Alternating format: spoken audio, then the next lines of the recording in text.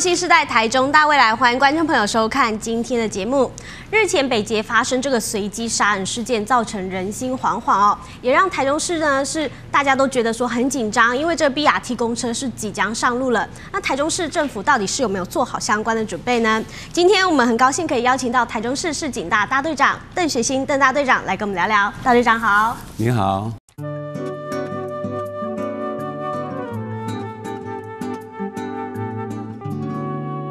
知道这个北捷这件事件呢、真的是震惊全台哦。是那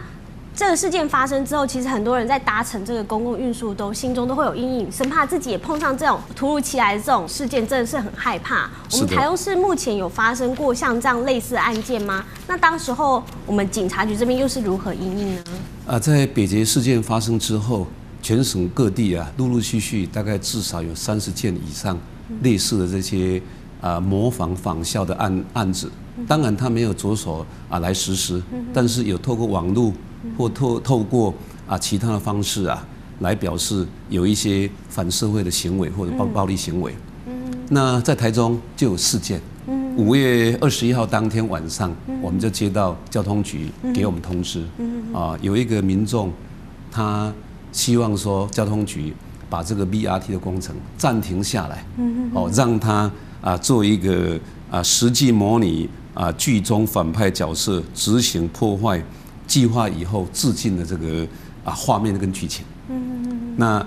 接到这个通知之后啊，我们当然也相当的紧张啊。对啊，因为刚发生过嘛，嗯，哦，那所以我们就很快速的就呃想尽各种办法，我们查到这一个陈情者，嗯，哦，结果他是一个比较啊、有一点精神障碍的一个年轻的朋友，嗯，那后来我们也告诉他们的家长啊、这个状况，然后接着呃隔天又有一件，啊，是一个谢姓的一个保全员，他是在我们大甲这个地区，那他在网络上留言说，啊，他是郑杰是他的偶像，然后他要开始要计划要杀死外劳，然后地点就准备在啊集散外劳最多的第一广场这个地方，那他已经准备好了汽油弹。哦，那我们接到这个讯息，这个啊、网络留言，我们也吓了一跳。嗯，啊，那因为在这个风头上面呢，我们很担心，啊，会有这些状况的发生。对，所以说，我们就啊、找了辖区大甲，嗯，还有一分局，因为一广是啊一中是一分局的辖区，嗯嗯嗯。那还有我们把我们一个科侦组，就是专门侦办网络犯罪的一个专业的单位，啊，就找过来成立一个专业小组，然后啊，我们透过我们的侦查的作为，很快速的在当天凌晨的三点多，我们找到了这个谢姓的啊这一个保全人员。结果呢，他讲说，他因为啊、过去高中的时候有两部脚踏车被外劳的时候偷走，嗯，再来，他在看到菲律宾啊、开枪射杀我们渔民的时候，他相当的气愤。嗯。然后啊、最近啊又看到这些啊发生的事件呢、让他对这个外劳啊积怨已久就对了。对对对对，啊，其实他只是一个发泄的现象而已，但是他不晓得说这个动作已经构成了刑法一百五十五条之一啊，这个恐吓公众罪。那我们也把它啊讯问完了以后啊，就移送地检署。嗯，那目前这个案子也很快速已经起诉的。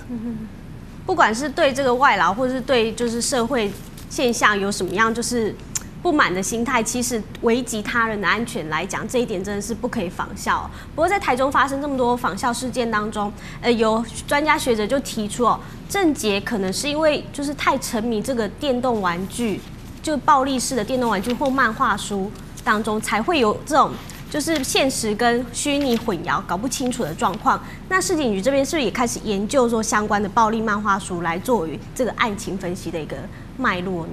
呃，是的，是的，啊，因为在呃这些网络的世界里面，电玩世界里面有很多啊，都类似这种情节的，哦，一些暴力的啊，一些攻击的行为啊，或者说呃暗杀啊、抢夺、恐吓这些啊手法。那其实这一些呃到案了以后啊，有一些案件呢、我们在侦查过程里面也有发现说，也有不少案例是因为啊、在电视上面或者网络上面有看到这些动漫或者电玩的情节受而受影响。那因此，我们针对这个部分呢，我们未雨绸缪，我们希望说能够防范于未然。嗯，所以我们要求啊，我们的侦查组，哦，专管这个犯罪侦查的侦查组，嗯，还有我们的刚刚讲的我们的科侦组，嗯，哦，网络啊侦查这个部分，嗯，啊，他们做不定时的啊，在网络上面做一些搜寻，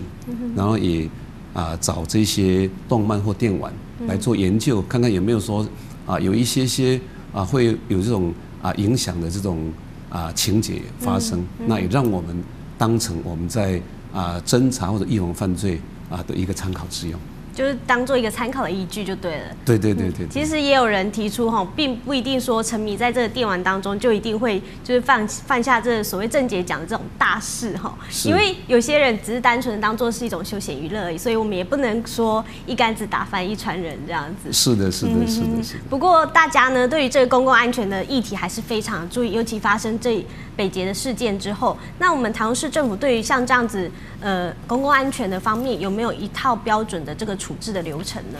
呃，有的，呃，包括啊、发生状况的这个处理呀、啊，还有这些防处的都有。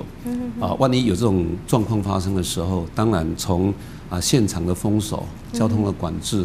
啊啊伤患的救助，啊啊一些通报协调，包括消防局、卫生局，啊，然后后续的部分，我们的侦查的部分、收证的部分，这个都有一套标准的作业程序。那我们也都把这些程序啊，也都啊、发送给各单位，他们啊来做一个参考，来做一个办理。我们好像也会就是不定时的举办相关的这个模拟危机处理，来训练远景的这个应变能力，对不对？我们当然不希望发生了，但是啊、总是要有所准备。但是呃，以目前来讲，我们比较在意的是有一些让民众能够安心的一些作为跟动作。没错比如说啊、针对这一些车站，嗯啊啊、高铁嗯对或者机场，对好、这些公众大众出入这个场所，嗯我们加强我们的巡逻，嗯提高我们的见警率，嗯哦，让民众知道说警察很注意这一块。警察在保护着我们，对对对对对对，那民众能够安心这样子。是。那另外，您刚刚所提到的啊，就是演练这个部分，嗯，呃，我们台中市有一个啊快打部队，就是快速啊处理啊事件的一个啊一个一个编组，嗯，啊，就是把分局里面的呃交通交通分队、警备队，嗯，啊派出所，嗯，还有加上我们警察局的保大啊，我们的刑大做一个编组，嗯，就是说我们随时随地，大概 每一个分局，嗯，啊，在五分钟到八分钟之内，嗯，我们可以很快速的啊啊 把这个啊、这一个编组的人可以抵达到现场去。好、类似像这种案子的话，我们可以很快速的在五分钟以内就有我们的同仁可以到现场来做处理。那这些同仁平常就是根据我们原来规划的啊这些 SOP，哦，他们会做很有效的做一个处理。嗯那针对这个部分呢、啊，我们这个事件之后，嗯啊，我们都有在做过一些演练跟做侦测。透过就是快速的这个人力整合，可以就是及就快速的达到这个危机处理的现场，然后来解除这个危机，保护民众的安全。是是是是。不过我们也知道，台中真的是交通非常便利，尤其六月二十八号之后，这 BRT 呃快捷巴士又即将上路了。那么，相信这个公共运输的安全还是民众所注意的。我们先进一段 VCR。BRT 快捷巴士即将上路，台中市交通警察大队正式成立第三中队，专责 BRT 安全维护及执法。二十六号上午，副市长徐忠雄亲自主持揭牌仪式。揭牌。今天这揭牌非常哦，最有特殊的意义，也就是一个台中县市合并之后，我们发展好的一个新的一个里程碑和一个配套，就是我们需要捷运。当然，捷运这是现在目前的捷运大队和捷运中队，哦，第三中队其实要称称作应该是捷运中队。你在我们，而且我们我自己感觉到台中的市民的善良跟温和啊，其实我们是以备万一的一个一个中队哦。因应像台北检验这个症结的事件的部分呢，我们有最好的准备，我们有做很多的复案。那如果说突发状况，因为我们的 VRT 啊，我们车辆可以随时停靠路边，我们有三个出入口，我们同时车上有四 G 的监视系统，车外有六 G 的监视系统，可以完全的掌握。啊，希望能够啊把这种事情啊预防啊多宣导，我们希望不要发生像北捷这种啊悲剧。由于 BRT 是台中市第一条大众运输系统，设有专用道，但因为民众还是很陌生，在不知情的状况下，常常不小心误闯。最近交警大队也将针对这样的情况开立劝导单。初期的话，会在宣导部分特别加强，劝导部分特别加强。那执法取缔的部分，我们会来视状况。那大大致上，我们这个工作已经筹备很久，我们相信可以很顺利的圆满。但我们有决心、有信心，可以把台湾大道上面的 BRT 相关的把它做好。北捷事件记忆犹新，大众运输工具行驶安全备受关注。台中市特别成立专责单位，在维护 BRT 运行顺畅之余，也保护乘车民众的生命财产安全。九军台中采访报道。刚刚从影片当中可以看到，我们台中市已经顺利成立这个第三中队，是不是请大队长跟我们分析解释一下，说这第三中队成立的一个目的跟他所负责的范围是什么？呃，这个中队它的 主要的目的就是为了。啊，维护这个 BRT 的安全，好，那当然它包括了啊，这个交通的顺畅，以及违规的这个这个取缔，还有临时如果有拥塞的时候，它也要做一个输出。那除了说呃第三中队的这个成立之后，因为现在 BRT 目前还只是在呃六月二十八号试营运，那目前在现在这个工作大大概是什么？有哪些呢？试营运可能要到七月底以后，但是我们不能够啊等到啊正式上路以后，我们才开开始来做这个工作。嗯，那所以说整个这个安全维护的工作啊，就提前已经开始了。对。那其实也不止这二十四个人，嗯，啊，不止这二十四位帅哥美帅哥美女啊，嗯，啊，他还包括沿线的辖区的这个分局，他们警力，嗯，好，这个都是一并啊。合在一起的，那只是说这二十四位是专责在负责这个部分。嗯，是请大队长跟我们讲一下，说一旦我们民众遇到这个危机的时刻，我们要怎么样自己有所应变、自我保护呢？是的，像呃类似这种案件的话，第一个你一定要冷静沉着下来，啊，找到最有利的位置，然后啊你。一定要做一个必要的一个一个防护哈，或者说大声来喝喝止他，喝止，哎，然后啊做适当的这个反应啊，也请我们同车的啊这个乘客啊，嗯，来来帮忙，好，那啊这个车子啊都有啊一些这个警示的这个设备，对，都同时可以通知这个啊驾驶，嗯啊，那虽然这个当中没有办法停，但是啊这个通信目前是无语的，好，这个是没有问题的，嗯，好，那。另外，在呃，我们其实我们要借这个机会，就是说，整个安全一定要靠大家。嗯。好，如果说有发现啊有异常的状况的话，就啊请。这个民众啊，能够直接来跟我们来做联络。嗯，所以说就是自己也要自我保护，先上车之后了解说，嗯，基本的逃生出入口在哪边，然后警示灯在哪边，然后还要是不是还要适当运用手边的东西、随身物品来保护自己？是是，因为你这些状况大概都是蛮急迫的啊。你比如说手上啊有皮。啊，皮包啊，或者说书包、书包、雨伞、雨伞，这个都是很好自我防卫这个啊器材，哦，这个都可以充分的运用。嗯哼，所以就像大队长刚刚讲的，真的要时时的提高警觉，因为我们不知道说身边的人何时会出现说这种不稳定的状态。你只有保护自己，才能够让大家就是联合大家的力量，然后获得人身的安全，这样子。是的，针对这个部分哈，因为其实北捷这个案件发生之后啊，我们也也注意到这个问题，所以也联系了啊，像卫生局，他们针对有一些啊，比如说有这些啊，在精神上面有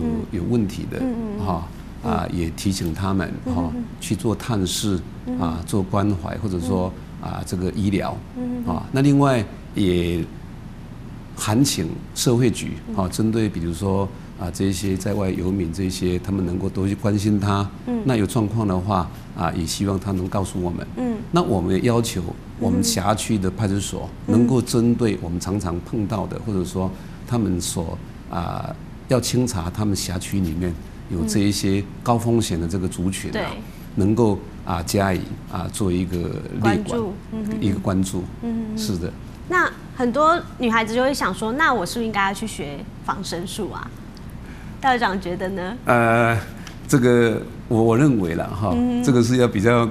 长期性来看的，也不是非一朝一夕啊。那平常其实你只要你的啊警觉性够的话，你其实啊做呼呼救啊求援的话，我想就应该就可以了。其实我们警察局这边好像在寒暑假部分也会开设这种防身术。的研习营来提供我们妇女朋友，或者是说像一些国小学童来进行基本的防身学习。是的，是的，像这一些，比如说哈啊，包括我们学校这些年轻朋友或者小朋友有兴趣的话，我们都很乐意啊。那另外，比如说有社有社区里面啊啊有社区里面的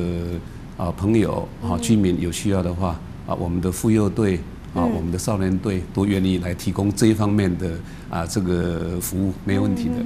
像刚刚有提到这个 BRT 在七月份要试试营运嘛，那是不是在这段期间之内，其实有一些规则还是要制定出来让民众知道的？是的，因为它这个是一个一个专用到一个使用权，所以说其他的车辆啊不能啊来来驶入，因为你一旦如果误入这一个专用车道的话，可能就会被一。道交条例四十五条，可能要处六百六百到一千八的这个罚款。嗯嗯啊，借这个机会也要提醒我们，跟大家宣导一下，对对对对，不要误闯这个专用道。是的，是的，是的。那我们刚刚听到大队长跟我们分析，包含这个公共安全的一个注意性哦。可是我们都知道呢，台中市其实在治安上面的表现呢，是可以算是名列前茅，是自由生。不过民众的观感好像不是这样，到底是怎么回事呢？下一段我们再请大队长来给我们做个分析，先休息一下。